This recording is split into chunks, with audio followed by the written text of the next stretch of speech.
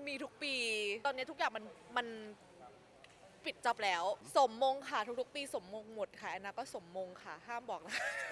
ค่ำคืนที่เปลี่ยนผู้หญิง ชีวิตผู้หญิงคนนี้ไปตลอดการเออมีจริง เออ เพราะว่าคนเกลียดเยอะขึ้นงงมากไม่ตั้งแต่จริงสวย อืมมันก็มีบ้าอ่ามันก็งมีใช่ก็คือเหมือนรักเขารักเรา มันไม่เท่ากันไงอืม แต่แอนนาโดนเยอะแอนนาโดนเยอะอยู่เหมือนกันค่ะ แต่ว่าก็คิดว่าทุกๆ ปีโดนหมดแหละ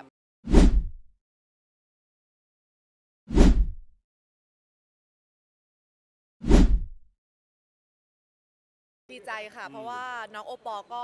เออแอนนารู้จักตั้งแต่ปี 22 แล้วคือปีตัวหนูเองค่ะ เราเห็นพัฒนาการของน้องรวมถึงความมุ่งมั่นของน้องตั้งแต่ที่รู้จักกันมาเลย ไม่ว่าจะผ่านไปเป็นปีหรือ 2 ปีน้องไม่เคยหยุดพัฒนาตัวเอง ก็ถือว่าเป็นวันที่แบบน้องประสบความสำเร็จก็ยินดีกับน้องด้วยค่ะดราม่าความไม่เหมาะสมมงโอ้ย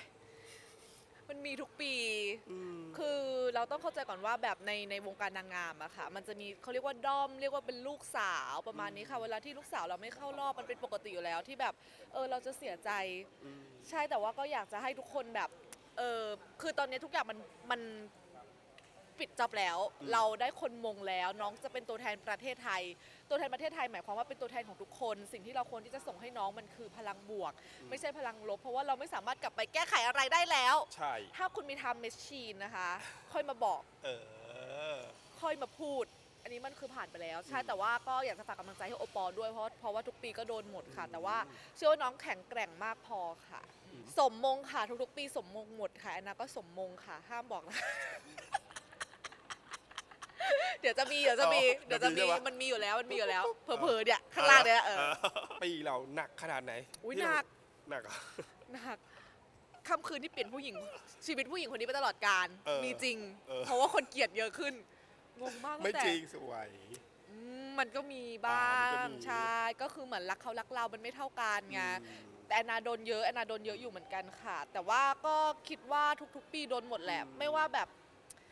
ออเราจะสมจะสวยมากขนาดอย่างแอนโทเนียปีที่แล้วอะประจักษ์ขนาดนั้นมันก็ยังมีอะเออมันมันไม่มีมันไม่สามารถที่จะทำให้ทุกคนอ่าทั้งโลกรักเราได้ค่ะ แต่ว่าแค่แบบแสดงอืมสิ่งที่ตัวเองเป็นออกมายืนหยัดในสิ่งที่ตัวเองเป็นเดี๋ยวก็ผ่านไปได้ค่ะดาวไหมมันรู้สึก จริงเหรอ แบบเฮ้ยไปฆ่าใครตายหรือเปล่า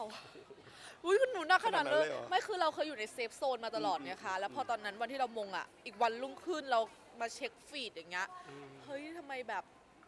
เรายังไม่ทันที่จะได้แสดงอะไรให้ทุกคนเห็นเลยว่า เอ้ยเราเป็นยังไงหรือเรายังไม่ทันไปประกวดต่างประเทศเลยอะทุกคนก็เหมือนว่าแบบเออไม่ไม่เชื่อมั่นในตัวเราแล้ว บางคนก็แบบ